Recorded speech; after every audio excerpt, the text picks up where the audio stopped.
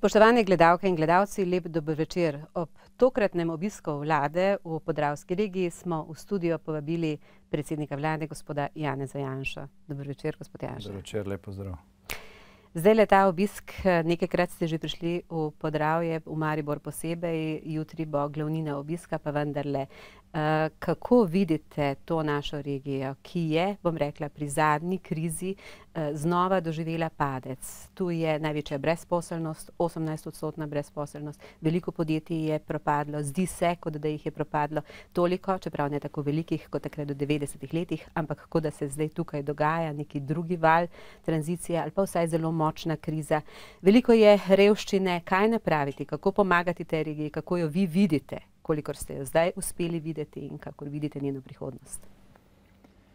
Ja, gre za zelo pomemben del Slovenije in, vlada zaradi tega, vlada je zaradi tega priprav na ta obisk namenila še posebno pozornost. Regija je, dejansko v času gospodarske krize utrpela hude udarce.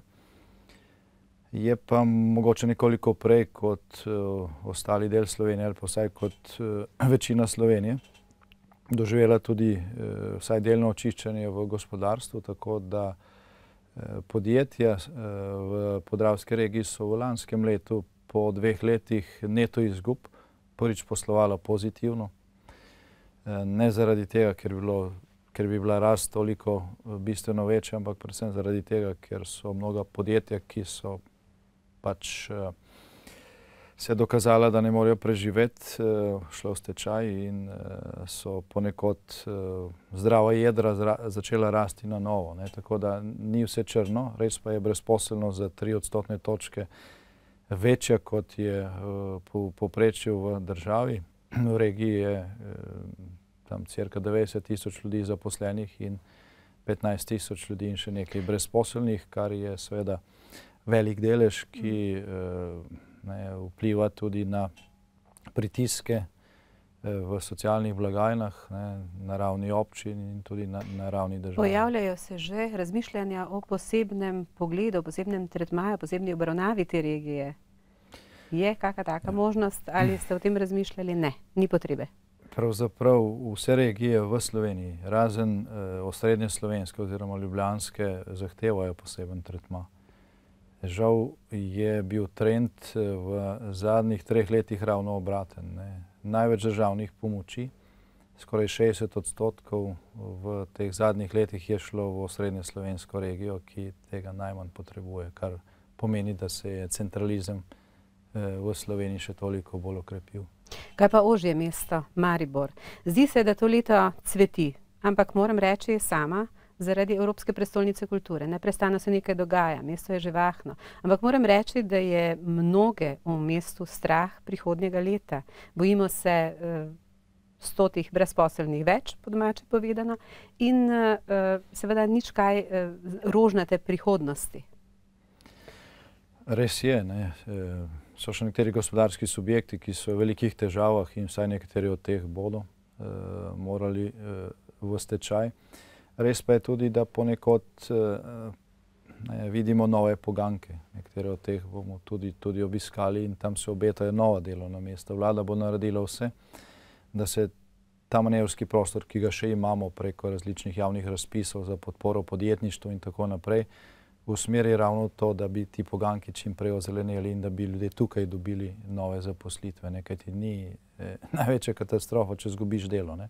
Največja katastrofa je, če izgubiš delo in ne dobiš enake ali pa bolje plačane službe drugod, in to v, realnem času, ne pa šele čez dve ali tri leta, ker zdaj je čakalna doba na službo preko dve leti, kar je bistveno slabše, kot je bilo, recimo pred tremi leti, ko je bila tudi brezposelnost, manjša. Torej, Maribor sam in celotna okolica, lahko računa na na rezultat vseh tistih ukrepov, ki jih vlada zdaj sprejema in jih bo parlament v tem drugem paketu julija, upajmo, sprejel. In naslednje leto si lahko obetamo večje premike v smeri, pozitivne rasti, tako ko gre za pač bilance podjetij kot tudi, ko gre za odpiranje novih delovnih mest, ker na koncu je to tisto, kar poveča blaginjo. Se boste znova lotili projekta regij? Ta, ta projekt je pripravljen, ne? ni pa dvotretinske večine za sprejem. E, podatki, ki sem jih prej navajal, kažejo na to, da bi ga Slovenija nujno potrebovala. Mislim pa, da neke resne zavesti o tem, ki bi prevladovala, ni. Veliko ljudi, e, veliko ljudi si predstavlja regije ali pa pokrajine kot neko novo birokracijo, ki bo zgolj povečala davke oziroma podražila funkcioniranje države, čeprav temu ni tako. Ne. Dejstvo, da smo v krizi, ko so vse regije razen osrednje slovenske eh, doživele hude pace, ne, eh, usmerjali ta z centrale. Glavna sredstva državnih pomoči ravno v najbogatejšo regijo kaže na to, da pač brez decentralizacije ne, Slovenija ne bo eh, postala bolj pravična država, ker bi imeli vsaj približno enake možnosti, eh, izhodišne možnosti v življenju. Torej, odgovor je da. Ne. Pokrajino so še vedno naš projekt. Vse je pripravljeno, potrebujemo samo eh, dve tretjini glasov za to, ki pa jih žal trenutno v državnem zboru ni. V Ljubljani vam kdo ne bi pritrdil, ampak okrog Ljubljane pa najbrž pritrjujemo takemu razmišljanju o decentralizaciji. Pa bo zdaj mogoče to postila in se lotila malo aktualnih vprašanj, gospod Janša. Koliko ste v resnici prihranili z vrčevalnimi ukrepi? Ne, prihranili nismo nič, ker te, te, tega nismo imeli. Ja, ja. smo samo Koliko manj bomo skušali, ja, samo, ja. skušali smo to enormno javno porabo, ki je znašala 20 odstotkov več, kot smo na leto zbrali, eh, prepolo, prepoloviti v tistem delu, ki je nismo mogli torej, financirati. Se, se pravi, pol manj se zdaj zadolžuje, pol manj naj bi se leto zadolžili, kot smo, kot smo se lani. Je, glede na sprejeti proračun je to milijarda, ne? glede na neka, neka realna gibanja je to nekaj 100 milijonov. In je to glede na uh, proračunski primankljaj in glede na zadolžitev, ki smo enormno povečali, najhitreje od vseh evropskih držav v zadnjih treh letih, eh, relativno malo. Tako da eh, tukaj eh, ne, se napori ne bodo končali. Ne. Še, še mm, zagotovo proračun za naslednje leto, pa za leto 2014, bo moral iti v nadaljno racionalizacijo. Pravite, napori se ne bodo končali, pa vendarle zdi se, kot da se pomalem tu in tam pa vendarle krha ta dobra volja. Ne? Na nek način ste popustili policistom, uh, seveda zdaj od zadaj stojijo še vsi drugi uniformirani poklici, potem uh, smo slišali, da so vojni veterani uh, za Slovenijo zdaj izuzeti, recimo iz pokojninske te reforme, uh, oziroma se jim ne bo toliko vzelo, kot se je načrtovalo včeraj. Mislim, da je predsednik Desosa napovedal tudi prevetritev vseh ostalih kategorij upokojencev. Ja, vse, Kam to pelje? Vse to se bo dogajalo. Zdaj, pri veteranih je tako, da eh, recimo, tisti, ki so izvzeti, to so veterani vojne za Slovenijo, ki itak ne dobivajo nobenih posebnih be beneficij, gre za mm, zdraviliško zdravljenje in za, za podobne stvari, ki seveda v seštevku tudi nekaj stane. Ne. Ampak eh, ti veterani dobivajo to kakšno leto. Ne. Nekateri drugi veterani iz druge svetovne vojne pa nekateri dobivajo to že 50 let. In uh, Slovenija, slovenski dokolplačevalci so skozi zgodovino za recimo dodatke borcev NOB dali več kot 4 milijarde evrov doslej. Ne? To je skoraj toliko, kot smo dali za vse avtoceste. In eh, samo tukaj se je nekaj eh, porezalo, ker enostavno denarja ni. Niso pa to pokojnine, ne? to je denar, ki gre iz proračuna in ne ti dodatki ne izhajajo iz plačanih prispevkov. Skratka, gre za uh, odločitev države, vseh dokoplačevalcev, odločitev pa so sprejemali različne sestave, v glavnem še v totalitarnem sistemu, ko ni bilo volitev, da se nekaterim ljudem dajo ekstra dohodki zaradi takšnih ali pa drugačnih realnih ali pa namišljenih zaslug. Ne, zdaj to ni debat o tem, ampak to niso pokojnine, ne gre za gre za, gre za nekaj drugega. In teh kategorij, ki dobivajo različne dodatke o pokojninah v Sloveniji, je 53, eh, nekatere, recimo, zbestni bolniki in tako naprej, zagotovo upravičeno. Veliko pa tudi neupravičeno v teh težkih časih. Ne, 250 milijonov na leto, več kot 250 milijonov evrov na leto damo slovenski davkoplačevalci iz proračuna za te posebne kategorije. Povejte mi, kako pa ste sicer zadovoljni z ministersko ekipo? Zdaj sem omenila predsednika Desusa, gospoda Rjavca, ki še največkrat javno pove, da se bo z vami na štiri oči kaj zmenil, kaj se potem dogovorite ali ne, ne vem. Ampak uh, nekako takole bi rekla, na trenutke se zdi, da vam ne stojijo več čisto vsi trdno ob strani. Ja, to, Zakaj o tem govorim? govorim torej, o... Medeni meseci so, so pač končani. Ne. Vlada je bila prisiljena, tudi koalicija, in lahko rečem, da uspešno zaenkrat. Koalicija v državnem zboru je bila prisiljena sprejeti ukrepe, ki eh, zagotovo, eh, kakorkoli se večini ljudi v Sloveniji zdijo nujni, potrebni in zdravorazumski, vendar niso prijetni, niso, niso popularni. Ne popularni so ukrepi, kjer ti razdeliš dodatno milijardo ne, različnim kategorijam. Če pa moraš ti eh, porezati izdatke ne, hm. za, za milijardo, pa to ne bo prineslo eh, dobre volje. Ne, in tega, posledice tega absolutno prihajajo, bodo še prišle. Niste mi pa odgovorili o tem, kako ste zadovoljni, kako ministerska ekipa deluje, še vedno obrano v en glas. So se pojavila kakšna nesoglasja? No, ekipa, deluje, ekipa deluje najmanj stokrat bolje, kot je plačana.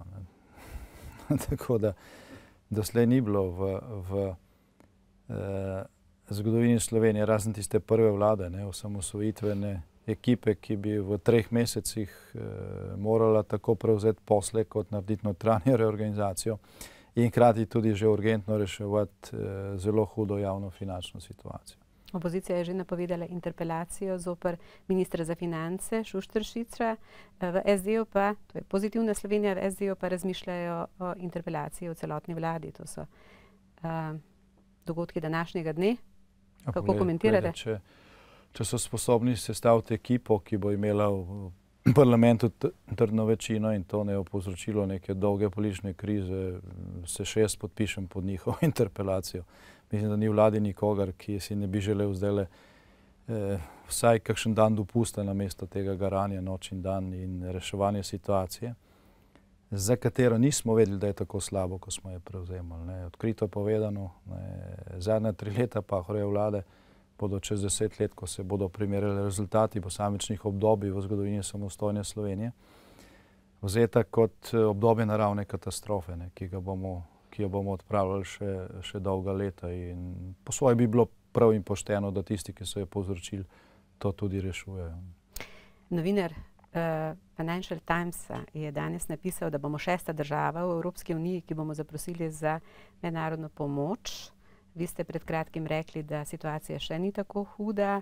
Uh, o tem so danes pisali mnogi uh, evropski časopisi, mnogi novinarji. Uh, Eh, Evropska administracija pa je nekako tako rekla, mi smo jim dali domačo nalogo, to je bil odgovor, čakamo na njihov odgovor, ta trenutek še nismo dobili nobenega odgovora. Kakšen bo ta odgovor in kakšen je vaš pogled na to razmišljanje, torej o zaprosilo za pomoč? Slovenija je z uh, zakonom, o katerem smo prej govorili, ne gre za zakon o uravnoteženju javnih financ, katerim smo, upajmo, prepolovili naš uh, proračunski primaklaj v letošnjem letu, trenutno odvrnila nevarnost od sebe, da bi kot država morali zaprositi za, za uh, mednarodno finančno pomoč, tako od mednarodnega denarnega sklada, kot iz evropskih uh, reševalnih mehanizmov. Tako da te nevarnosti, da bi morali kot država zaprositi za to pomoč, v tem trenutku ni. Je pa uh, Slovenija v uh, preteklih treh letih uh, našim partnerjem v Evropi obljubila marsikaj. In ne leta 2009, ne leta 2010, ne leta 2011 uh, teh obljub nikoli nismo izpolnili. Zato je, ima danes Slovenija problem z kredibilnostjo. In eh, partnerji pravijo, že, že res, ne, da pravite, da boste to naredili, ampak to ste rekli tudi eh, lansko leto, pa predlansko leto, pa leto 2009, pa nikoli niste tega naredili. Mi smo si delno povrnili kredibilnost eh, prvič za tem, da smo sprejeli ta zakon o uravnoteženju javnih financ, ki je vsaj malo približal naš primankljaj temu, kar so pravila igre v Evropske unije, sicer drugi plačujejo naše dolgove in tega si noben ne želi. E, po drugi strani pa smo z nekim političnim soglasjem, ki je bilo doseženo v začetku leta, da bomo hitro zapisali zlato fiskalno pravilo v ustavo, tudi dal neko obljubo, mm. ki nam je popravila mednarodni položaj. In julija, ko bo državni zbor glasoval o tem, ali dejansko zapišemo uh, to zavezo v ustavo ali ne, bo test naše kredibilnosti. Če bo opozicija požrla dano besedo, kot nekateri nakazujejo, potem bo tudi prevzela odgovornost za to, da ne bodo samo časopisi pisali o tem, da Slovenija potrebuje pomoč, ampak bomo dobili tudi uradno vprašanje v tej smeri iz Evropske komisije, ki jih pa v tem trenutku ni, so to samo špekulacije. Je res to odvisno samo od vseh teh, bi rekla, političnih zgodb, ne? pa od podpisa v zvezi z zlatim fiskalnim pravilom in tako naprej? Ja, to ni politična zgodba, to je zelo, to je zelo realna stvar. Slovenija je ratificirala uh, Evropsko pogodbo oziroma pakt, v kateri se je zavezala, da bo to naredila. Ampak eh, nevarnost je zelo velika. Ne? Mi pravzaprav zdaj eh, tudi za umikom recimo KBC-ja iz Ljubljanske banke, vem, da minister Šuštršič govori, da to ni nek denar, ampak da to imamo neke druge rezerve. Moram reči, da tega jaz prav dobro ne razumem, ampak vendarle, če se KBC eh, umakne na 22 odstotkov lastništva nove Ljubljanske banke, pomeni, da država znova postaja vse večja lastnica. Kako si predstavljate, kaj bomo naredili s to največjo banko? Ne? Eh, bomo poiskali še strateškega partnerja ali bomo pa kar sami imeli, pa dokapitalizirali znova na drugačne načine. Eh, da še mi malo vas izzovem. Podatek 16 milijard imajo recimo slovenski davkoplačevalci uh, menda zasebnih prihrankov v slovenskih bankah. Uh, ja, bi jih povprašali, če so jih pripravljeni dati? Približno toliko je tudi naš znani dolg. Ne? Tako da to ni ravno velika številka. Ne? In uh, večina bank je pravzaprav nad vodo ravno zaradi teh prihrankov in ti prihranki so varni, ker za njih poleg bank seveda garantira tudi država. To je, pa, to je, država, to je posebna zgodba in jaz, eh, jaz pač ne bi povezoval, kaj bomo pa storili eh, glede sanacije bančnega sistema v celoti, ker problem ni samo Nova Ljubljanska banka, pa bomo lahko povedali, ko bomo natančno vedeli, kakšno je stanje v tej in ostalih bankah. Pa zdaj že malo tega, veste, kakšno te, je sta, to stanje? Ne, tega stanja vlada ne pozna. E, v času, ko smo prevzemali mandat, je bilo rečeno, da pač za to skrbijo drugi, bila je neka agencija za upravljanje kapitalskih naložb, tukaj je regulator, kot je Banka Slovenija in mi smo neke prve podatke o tem dobili šele pred mm. desetimi dnevi, ki pa niso popolni, ko govorimo o e, Novi Ljubljanski banki je, eh, so bili rezultati skrbnega pregleda, ne, ki je bil naročen, obljubljeni za konec maja. Ne, zdaj smo v začetku julija in teh rezultatov še vedno ni. Tako na, da na vsa ta vprašanja jaz eh, lahko odgovarjam samo z, z, z besedo ne vem. Ne, tudi ne vem natančno, zakaj se KBC umika. E, poznam pač del razlogov, vezani so na to, da je KBC sam dobil uh, državno pomoč 8 milijard in da je vezan, da je takrat obljubil dezinvestiranje in da je vezan na, na, na ta pravila. Uh, očitno niso dobili od, odveze za to, da sodelujejo pri dokapitalizaciji, ampak to v, v tem trenutku dejansko ni ključno. Ključno je, kaj bomo naredili, ko bomo poznali uh, stanje v tej banki. Jaz upam, da bo boljše od tega, kar Eh, se bere po nekaterih časopisih, vendar, kot že rečeno, ni možno, ni možno eh, predpisati zdravljenja, ne, dokler ne poznaš vzrokov za bolezni in sploh katera bolezen je. Čisto na kratko mi še povete, ker se na en čas izteka. Eh, kaj je za vas nacionalni interes in kateri deli gospodarstva so pa resnično nacionalni interes, kaj bi vi prodali in kaj bi obdržali? Za me je nacionalni interes, da imajo slovenke in slovenci, eh, ki eh, znajo, zmorejo in so pripravljeni delati na voljo dobra plačana delovna mesta, da dobijo eh, pošteno plačilo za pošteno delo, da so njihove delovne pravne pravice urejene in zaščitene in da tudi sicer ne, skupaj eh, ne, delamo vse, da bo blaginja čim večja. Ali pa so ta delovna mesta v podjetjih, kjer so izključno slovenski lastniki ali so lastniki mešani ali so tuji lastniki, je pa tukaj praktično popolnoma vseeno. Ne. Država bo dolgoročno zagotovo ohranila če zdaj govori o lastništvu kot tistemu simbolu nacionalnega interesa, lastništvo v nekem delu infrastrukture, ker je to uh, pač pomembno in ker je to tako povsod. Ne. Vse ostalo je pa, uh, vse ostalo je pa, z vsem ostalim je pa tako, tako kot sem prej povedal. Ne. Nič nam ne pomaga, če smo lastniki slovenskega podjetja, ki propade in potem plačujemo še te dolgove. Ne. Gospod predsednik, hvala lepa za obisk v studiu in za odgovore na vprašanja. Drage gledalke in gledalci, to je bil pogovor s predsednikom vlade, gospodom Janezom Janžo. Hvala za pozornost in lahko noč.